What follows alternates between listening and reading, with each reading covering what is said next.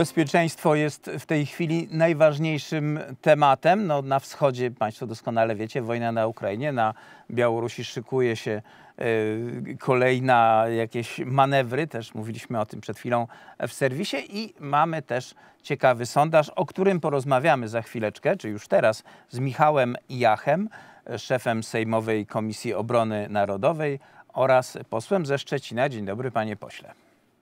Dzień dobry, panie redaktorze, a będąc precyzyjnym, ze Stargardu. Faktem. Ale to bardzo blisko Szczecina. No właśnie, właśnie. No ale i tak wie pan, pan nie pobije kolegów e, z PSL-u, którzy jak słyszą, że są z PSL-u, to zaraz domagają się, żeby powiedzieć, że i Koalicja Polska, i Polska 2050. Także taka zapowiedź posła, która trwa dwie minuty, to, to ja cenię. To dla mnie to szacun. Proszę Postaram pana, e, dzisiejsza dziennik Gazeta Prawna publikuje wyniki badań opinii publicznej, zgodnie z którymi 56,4% Polaków uważa, że Polska jest raczej bezpieczna.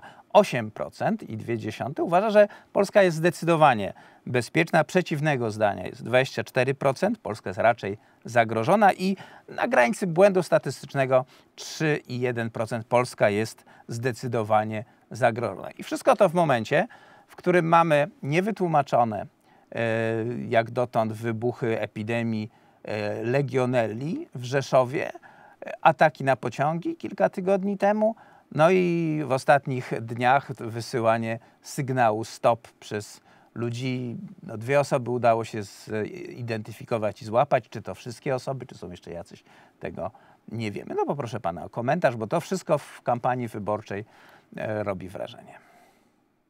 Panie redaktorze, jestem daleki od teorii spiskowych, natomiast nie ma wątpliwości, że Polska jest jednym z głównych, a być może głównym kierunkiem działalności operacyjnej rosyjskich wojsk specjalnych. No, a jesteśmy e, głównym ambasadorem czy, i, i przedstawicielem i reprezentantem Ukrainy i mówię to z pełną odpowiedzialnością, że gdyby nie rząd Prawa i Sprawiedliwości, polski rząd Prawa i Sprawiedliwości, to jestem przekonany, że Ukrainy by już nie było. Dlatego nas nienawidzą i y, podejmują różne działania. Nasze służby działają e, bardzo dobrze. To widać, że ujęto już iluś tam podają liczby e, kilkunastu ludzi, którzy próbowali zorganizować jakąś zamach na kolej. Natomiast te wydarzenia, które się dzieją, no, rzeczywiście są no, takie niezwykle rzadkie. Nie pamiętam, kiedy była epidemia te, te, tego typu w Polsce. No, tu jakieś wariaci. Trudno też e, tłumaczyć w prosty sposób, że nagle dwie grupy jakichś ludzi bawią się w, w wprowadzanie chaosu na kolej. Trudno Ale to powiedzieć, wymaga to konkretnej przypadek. wiedzy, prawda? Trzeba wiedzieć, Oczywiście. jak ten sygnał nadać, jaka jest jego charakterystyka i tak dalej. Mimo, że sam system jest rodem z lat 80., no pewnie już dawno powinien być ucyfrowiony. Jak podejrzewam, stanie się to w ciągu paru e, miesięcy, no bo ile takich e, no. radiostacji jest potrzebnych cyfrowych, żeby to działało? No to na pewno nasze służby, organy ścigania wyjaśnią, czy to e, jacyś nawiedzeni e, krótkofalowcy, czy to zamierzone działanie e, tych barbarzyńców za, za wschodniej granicy. No, trudno tutaj, trudno to przesądzać. Na, na pewno wiele rzeczy, które, które niedobre dzieją się w Polsce, to jest efekt działania Rosji Chociaż musimy to od razu dodać, że rząd Prawa i Sprawiedliwości od ponad dwóch lat, wiedząc, zdając sobie sprawę, a właściwie to już będzie trzy lata blisko, co dzieje się za, na wschód od Polski, to mm, organizuje takie działania, które wyprzedzają zdecydowanie te barbarzyńskie działania Rosji i Białorusi. Y, mamy też y, takie działania, które są jakieś sabotowane z wewnątrz. Pan pamięta, miesiąc temu gazety rozpisywały się, jak to y, pisowski reżim prześladuje hobbystów, którzy chcą po prostu, interesują się tym, co dzieje się na kolei, lubią takie zdjęcia pociągów i różnych obiektów. No jak można tych ludzi prześladować, aresztować? Przecież żyjemy w wolnym kraju.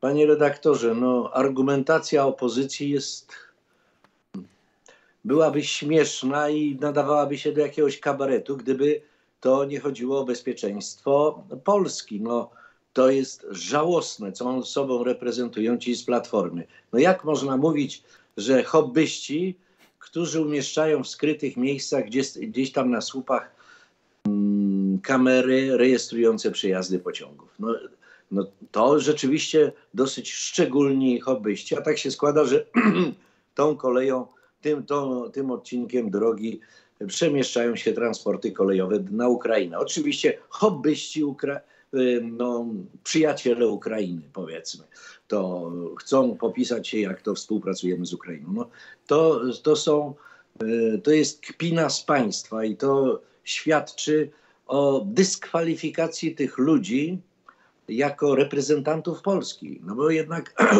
ta, ten sondaż, o którym pan mówi, który pan zacytował z Gazety Prawnej, mówi o tym, że bezpieczeństwo jest, znajduje się na ważnym jakby punkcie zainteresowania Polaków. Spora część, no, prawie jedna czwarta uważa, że, że nasze bezpieczeństwo jest zagrożone.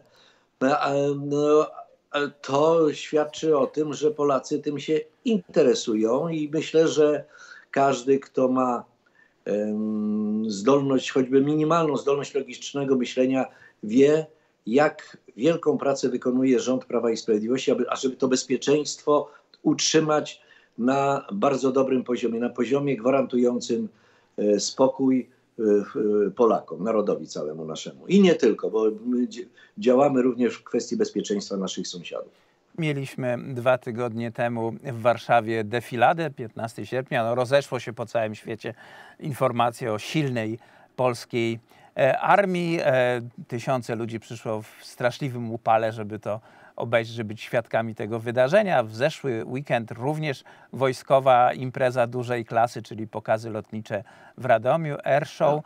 E, czy te pokazy sprawiają, że y, Polacy czują się lepiej, czują, widzą, że coś się konkretnego dzieje, jeśli chodzi o siły zbrojne? Oczywiście, panie redaktorze, no, e, Polacy bardzo dobrze rozumieją zagrożenia, jakie są i e, jest powszechna zgoda na zwiększanie wydatków. Powszechna zgoda na zwiększanie wydatków. Nie wiem, czy pana posła słyszymy, czy coś się zawiesiło po drodze. Halo, halo. Poseł Michał Jach, proszę państwa, jest naszym gościem. Za kolejna element naszej rozmowy będzie dotyczyć oczywiście budżetu e, państwa. 94 miliardy złotych e, i 98 miliardów i 440 milionów złotych to są wydatki budżetu na uzbrojenie. Do tego dochodzą wydatki pozabudżetowe w sumie 4%, czyli w ciągu roku z 2 do 4% PKB zwiększyliśmy wydatki na zbrojenia i jesteśmy pod tym względem zdecydowanym liderem, jeśli chodzi o, e, jeśli chodzi o kraje NATO. E, panie pośle, o wydatkach zbrojeniowych, bo po opublikowaniu budżetu na rok 2024 pojawiła się tam dziura budżetowa w wysokości 60 miliardów. No i oczywiście opozycja mówi, że to nieodpowiedzialne wydawanie pieniędzy ja rozumiem, że one idą na obronę, ale, ale może się mylę. Panie redaktorze, no, dziura budżetowa to jest wtedy, kiedy rząd nie panuje. To, to jest normalnie różnica w budżecie. To jest, e, to jest w ramach e, dopuszczalnych, dopuszczalnych deficytów w Unii Europejskiej.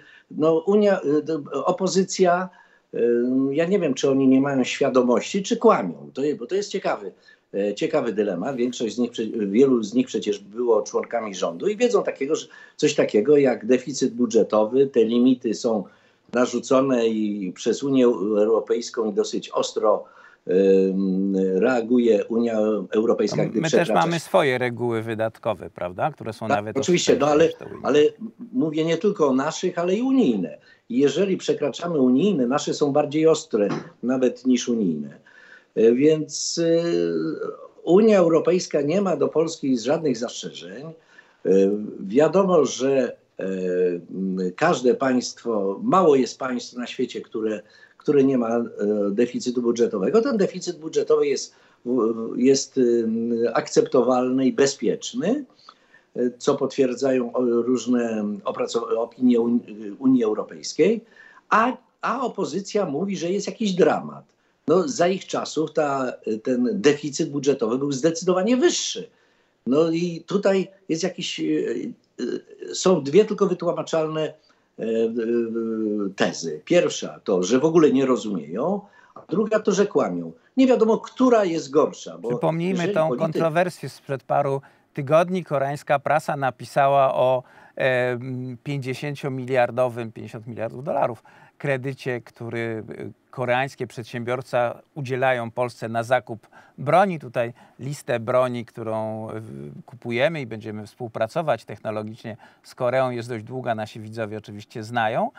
No, w Polsce pojawiła się to straszliwa afera, jak to w ogóle taka można, a przecież jest to po pierwsze normalny kredyt kupiecki, a po drugie istotą tego tekstu było skłonienie rządu koreańskiego do y, wsparcia i gwarantowania tych kredytów, bo jest to bardzo opłacalne dla koreańskiego przemysłu, a Polska jest bardzo wiarygodnym klientem. Ale tam dalej w tym tekście najwyraźniej Ale... nikt nie dotyczył. Jeszcze jedna rzecz, jeśli chodzi o obronę, bo to się też y, y, spina z polityką. Otóż y, poseł Jan Grabiec, wówczas starosta legionowski, protestował przeciwko e, rozwiązaniu e, pierwszej warszawskiej dywizji zmechanizowanej, wyprowadzeniu dowództwa i tak dalej. No, nic się z tego nie stało. Potem pan Grabiec stwierdził, że mm, Platforma w ogóle nie likwidowała żadnych jednostek. Kiedy Mariusz Błaszczak pokazał dokumenty, to powiedział, że no, ale wtedy mu wyjaśniono, że będzie lepsza struktura i będzie lepsze dowodzenie. To proszę wyjaśnić, jak poprawiło się dowodzenie e, z wojskami po, po likwidacji pierwszej dywizji zmechanizowanej, która tutaj w Warszawie no, stacjonowała? E, panie redaktorze, Platforma była na prostej drodze, żeby całkowicie usprawnić dowodzenie, czyli rozwiązać jednostki bojowe, zostawić tylko sztab generalny i sztab generalny by idealnie dowodził. To, żeby nie było wojska, Taka armia defiladowa miała istotne. być. Tak jest. Armia defiladowa. To byłoby, e, to byłoby zrealizowanie marzeń i koncepcji Donalda Tuska. I dziwię się, że tacy posłowie jak e, Jan Grabiec, przecież postać ważna, opowiada takie bzdury. No, no czy e, on I to chyba robi pamięta... to bezinteresownie, bo zdaje się, że on nie jest kandydatem do Sejmu. To, ale to następna część rozmowy tutaj o posłach koalicji za moment. To może przejdźmy od razu do tej drugiej części, bo właśnie Jan Grabiec nie dostał się na listy Platformy Obywatelskiej, a dostał się Roman Giertych, wyrzucając długoletniego posła z e, Świętokrzyskiego i e, całe media po prostu gotują się e, taką wizją starcia Giertycha z Kaczyńskim i tak to chcą widzieć. I ja szczerze mówiąc, jako może niewielki zwolennik, ale kiedyś widziałem walki bokserskie, no widzę tutaj znaczącą różnicę wagi pomiędzy oboma zawodnikami. I to na niekorzyść, no. na niekorzyść Giertycha. No, panie redaktorze, no, ja tego w ogóle nie rozumiem. No, nie rozumiem. W ogóle czasami to aż e, zastanawiam się, czy nie współczuć tym posłom z Platformy Obywatelskiej, którzy są traktowani gorzej niż jak pionki. Dzisiaj Donald wstanie i mówi, ty jesteś na górze, a jutro wstaje i mówi, ty, ciebie już nie ma. No to, to wie, wie pan, no, to, to wśród y, poważnych ludzi, odpowiedzialnych, to są rzeczy no, dla mnie niedopuszczalne. No, to traktowanie są ludzie po ludzi... 20 paru latach albo 30 działalności politycznej. No. Chociażby tak jest, no. Sławomir. Neumann, autor czy też bohater słynnego stwierdzenia doktryna Neumana. No teraz doktryna Neumana nabiera nowego znaczenia, tak? Znaczenia. Tak Wywalę jest, cię, no. bo muszę wrzucić y, jakąś gwiazdkę porno albo y, performera. Pani Joanna się cudem nie załapała, bo mogłaby tak, być no, spokojnie kandydatką. No, Im bardziej to, to, co pan powiedział, że e, jak e, popatrzymy na tych polityków, którzy się nie załapali na listy albo e, zostali, że tak powiem, zesłani do Senatu, no bo powszechnie jest takie przekonanie w Sejmie, że jeżeli idziesz do Senatu, to, to taka trochę emerytura polityczna. No, oczywiście nic nie moim, przyja moim przyjaciołom z Senatu, no bo e, tam też jest odpowiedzialna działalność.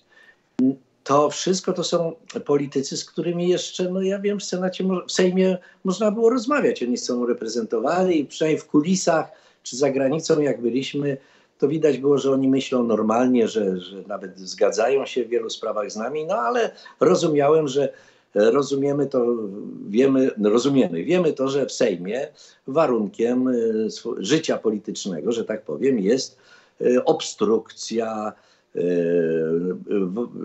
totalna opozycja, czyli krytykowanie wszystkiego lub chamstwo i barbarzyństwo, tak jak to możemy tu wymienić kilku Ale to jedna rzecz jest, panie posie, na którą chyba warto, warto zwrócić uwagę, bo Donald Tusk zapowiadając kandydowanie Romana Giertycha powiedział, umieściłem go na listach. Na, na Partia to ja, prawda? Ludwik XVI albo Donald I, nie wiem.